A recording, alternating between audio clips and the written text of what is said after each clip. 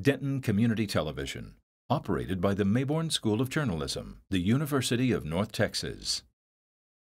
Hi, I'm Robert Jeffress, pastor of the First Baptist Church in Dallas and Bible teacher on Pathway to Victory. I hope you will take time to tune in with Theresa, Time with Theresa, right here on this station.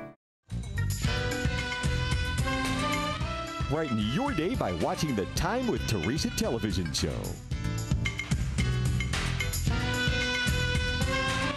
Whether in the studio or on location, Theresa Westbrook and guests will warm your heart and encourage your soul.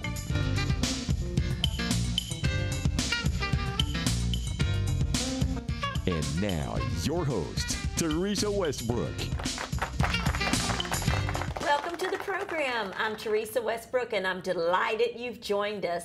I am super excited to have songwriter, singer, and minister Mary Fay Jackson with us in the studio. Oh. Mary's also the host of the award winning television program called Texas Country Gospel.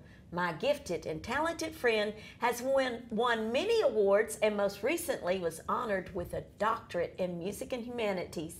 We're going to find out all about that a little later, but right now, please help me welcome Dr. Mary Fay Jackson. Oh. I love that, Theresa. Wow, that's quite an introduction. well, you got quite a resume there, so we Oh, had to work you. work that in, and Thank it's you. such a delight to have you with us today. And uh, now, Mary, you're always on the road singing and ministering and promoting family-friendly Oh, yes. entertainment. Right. Uh, tell our viewers how are you managing such a busy schedule? well, I need a clone. I need two of me. But uh, no, I enjoy, uh, I love my job. I love working for the Lord. And I love doing promoting and music videos and television, radio, uh, just wherever the Lord opens the doors. But I can tell as, you know, the years are, are creeping up that I may not be going as much as I've been going in the past, but I don't know. I've got a pretty full schedule. Yes, you do. And uh, I, Mary Fay's one of my friends, and we have another friend that's not with us today, That's right. We call Mary Fay the baby because we're all just months apart, but she's the baby of us. That's right.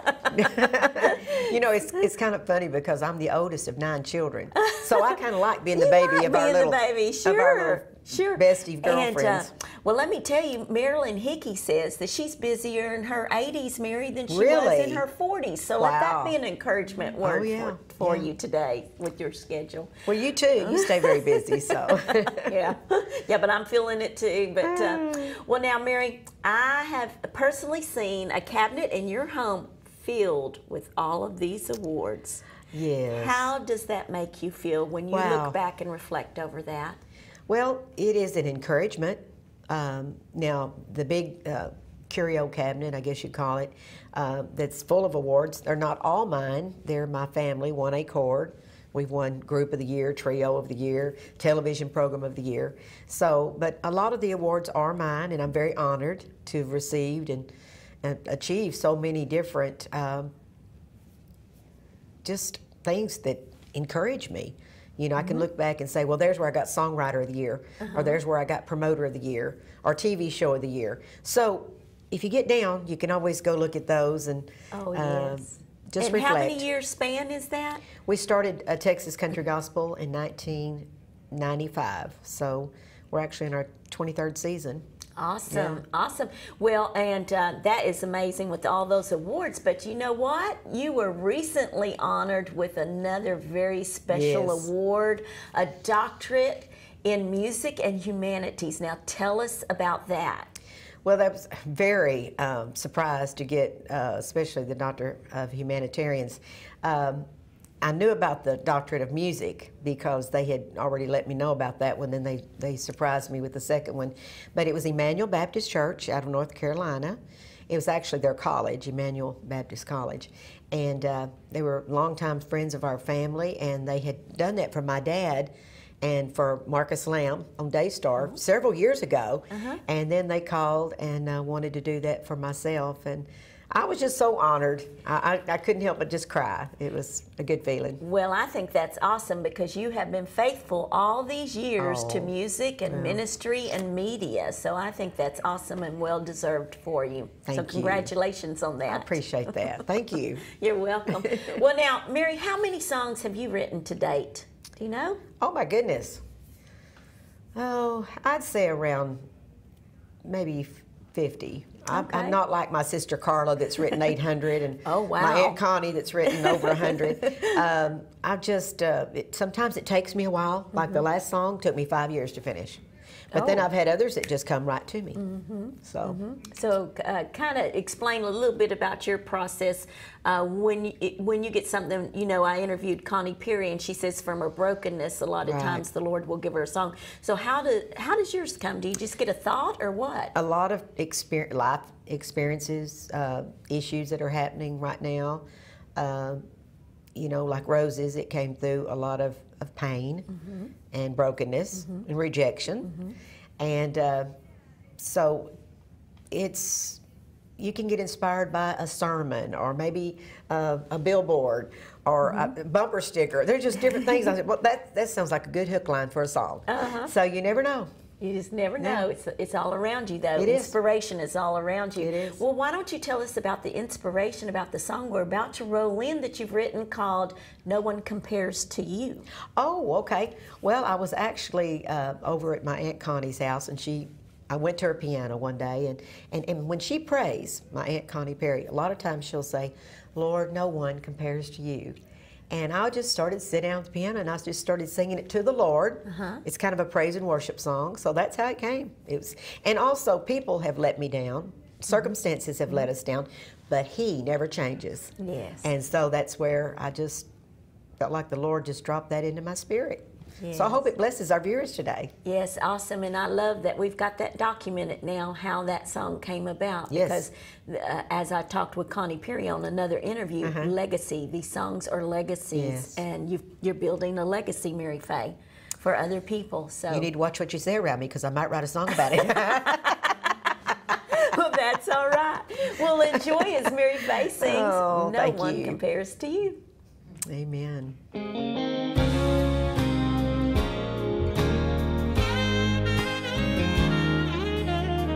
No one compares to you, Lord. No one compares to you. No matter what we say, and no matter what we do, no one compares to you. You're omnipotent, you're everywhere. You're incredible. You fill the air. You're so merciful, forgiving too. You're our loving God, and we worship you. No one compares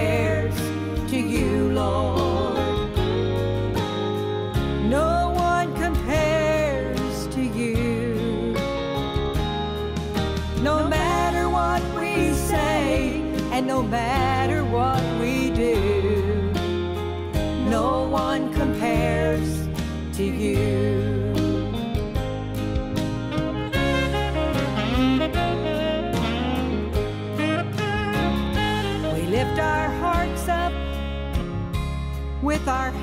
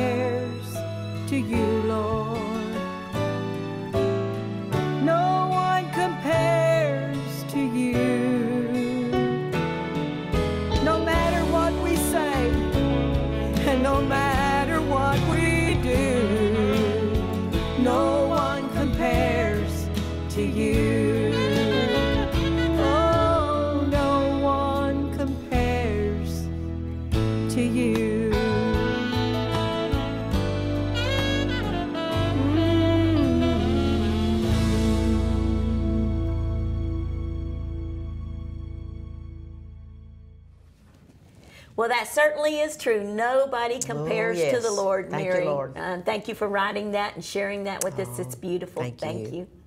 Well, now, Mary Fay, uh, you know we've served the Lord many years. We've We had many ups and downs and uh, disappointments and victories, and uh, we've made wrong choices. We've made. Oh, bad yeah. decisions, and then we've made good choices yeah. and good decisions. so I'm wondering, has your walk through the years and influenced you to write this next song we're going to share with the viewers called "If I Fall"? Yes, uh, that song, of course, is ministered to a lot of people. I've had five people record it, but it's uh, it's a, kind of an encouragement to me because we were brought up like in a very strict church, which I'm thankful for. But a lot of times, if you made a mistake, you know, you just felt like you were backslid. There was no hope for you, and this is just encouraging you to repent, dust yourself off, keep going. Yes. Don't let stuff get you down. And yes, I, if I could re- push that rewind button and go back, I would change a lot of things, but I can't. Right. So, but we can. It's a new day, and we can repent. You know, turn away from whatever got us down, or just ask the Lord to, to help us back up. And uh, and He will. Yes, That's the good will. thing. He He won't leave you down. He won't kick you when you're down. Right. And so uh, I, it, it ministers to me, Yes. and I hope that, that it'll minister to, to the viewers today too. I'm sure it will. Enjoy "If I Fall" by Mary Fay Jackson. Thank you. Amen. Put your hands together and help me out today. I've been traveling on this journey most of my life. It's not always pleasant, and I haven't yet arrived. And no, I'm not perfect, though I'm striving to be. If I know my Lord, He won't give up on me. Can I get a big amen? Cause if I fall, I'll get back up again. I've made up my mind, I'm gonna win. Cause God knows my heart and where I am with Him. So if I fall, I'll get back up again. I believe it says in one place, Rejoice not over me, my enemy, because if I fall, I shall rise again. Now they say it's hard to stumble when you're down on your knees. But that's when I'm close to heaven, my spirit gets set free. So if I have to crawl all the way to the cross, just one drop of his blood will cover me. And if I fall, I'll get back up again. I've made up my mind, I'm gonna win. God knows my heart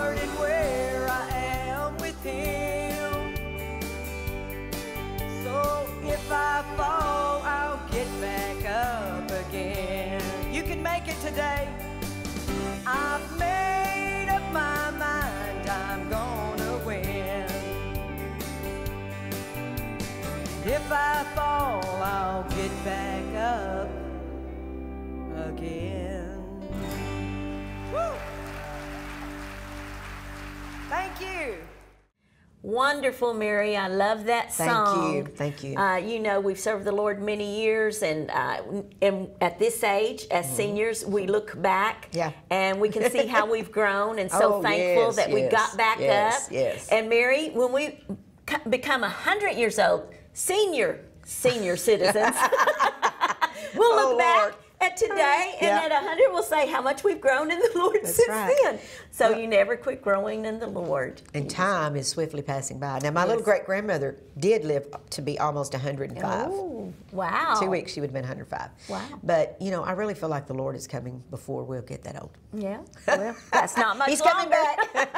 that's not much longer. Okay. Well, um, thank the Lord for forgiveness and grace in our lives. Praise God. Amen. Amen. He's a good God. He's a God of second chances, third chances. You know, there may be somebody listening that feels like they, they've been divorced and maybe there's no hope for them or they've made a mistake. But um, talk to God. Make it right with Him. Amen. Amen. Well, speaking of that, you have been divorced now how many years? Oh, let's don't go there.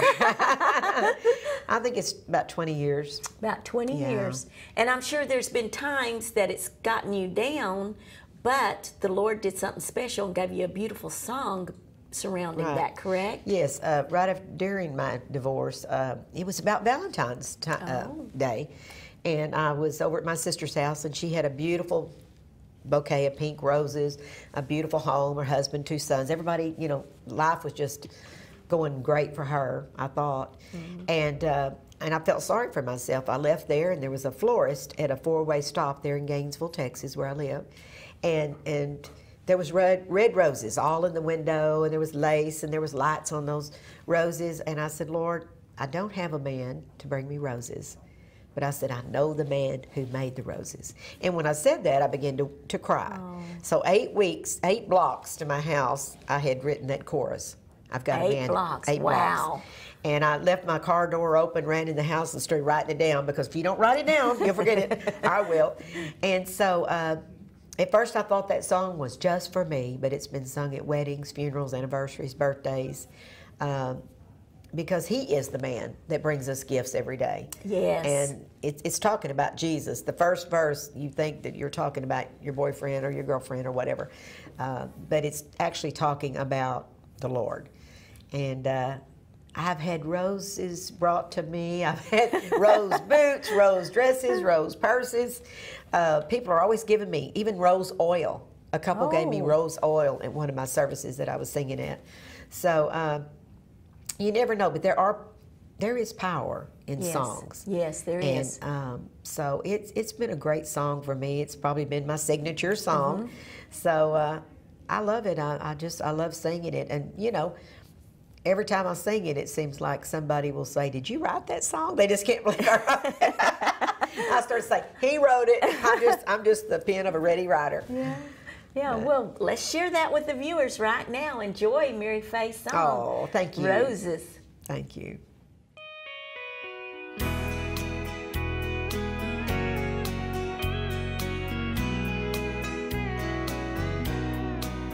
I've got a man that brings roses every day. He's never too busy or very far away. And I can call on him at midnight noon or break of day.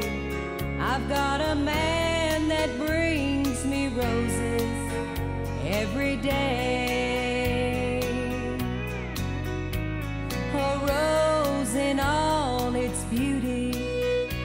there's none to compare.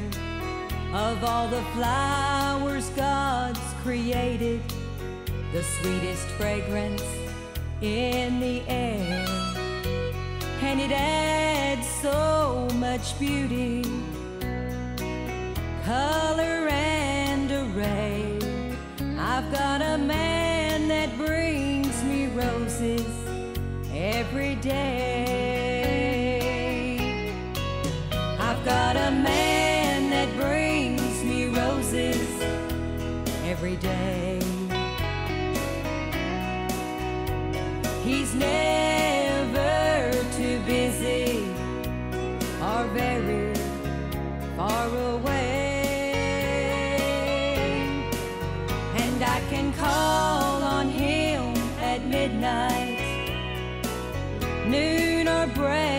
break of day. I've got a man that brings me roses every day.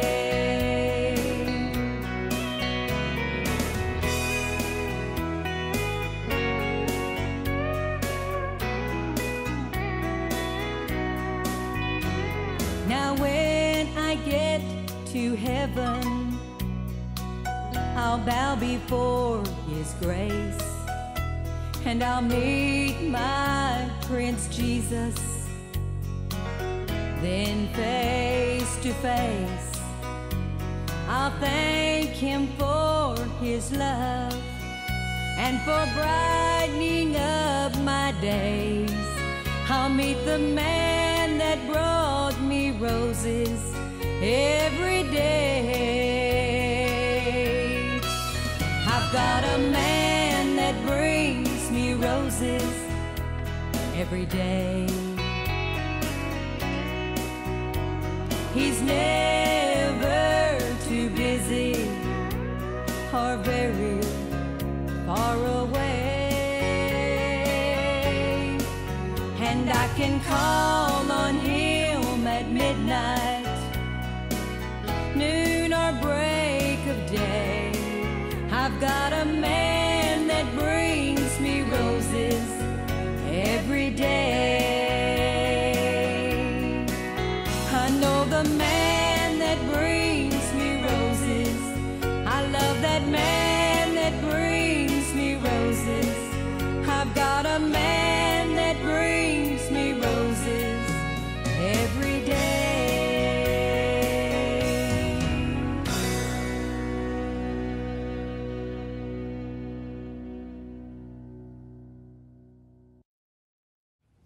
I just love that song, Mary Fay. Thanks for Well, writing you. that. That's Thank you. beautiful and very God inspired, and I know it ministered to our viewers, Oh, especially so. especially those who are maybe lost a spouse or going through divorce or right. separated or whatever, or looking for a mate, even Right. looking for a mate. Yeah. You know, so can minister to a lot of people.